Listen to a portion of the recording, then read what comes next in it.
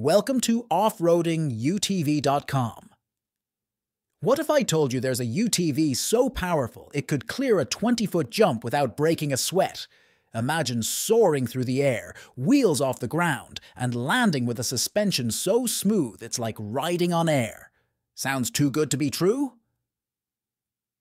Well, stick around because today we're diving into the best UTVs built for catching massive air.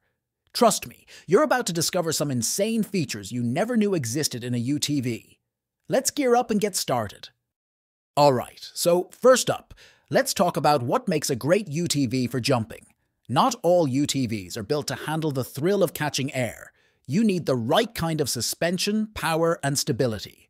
One wrong pick, and not only will it dampen your fun, but it could also be dangerous, so let's jump right into it.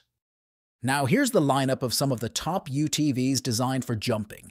We're talking about models like the Polaris RZR Turbo S, Can-Am Maverick X3 XRS Turbo RR, Polaris RZR Pro XP, and more.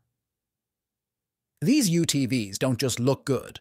They're built with high-performance engines and long-travel suspension systems, perfect for absorbing those big impacts and making your ride as smooth as possible. When you're picking out a UTV for jumps, there are a few key factors you want to consider. 1.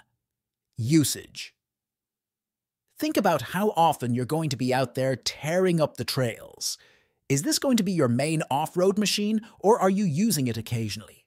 If you're using it mainly for adventures, go for a model with advanced suspension capabilities like the Polaris RZR Turbo S. 2. Skill level. Be real with yourself here. If you're just starting out, look for something a bit more manageable in horsepower. You can always upgrade once you get the hang of it, but starting with a high-power machine as a beginner can be risky. 3. Riders. How many people are riding with you? UTVs range from two-seaters to six-seaters, so think about how many people you're likely to take along. If it's just you and a buddy, you'll want something agile and lightweight. For bigger groups, you'll want a model with seating options. 4. Location. Terrain plays a big role. If you're riding in rocky areas, you might need a UTV with high crawling power. But if you're in a desert or open space, suspension and speed become more important. 5. Budget. And of course, there's the cost. UTVs are an investment. You'll want to plan for gear and accessories too.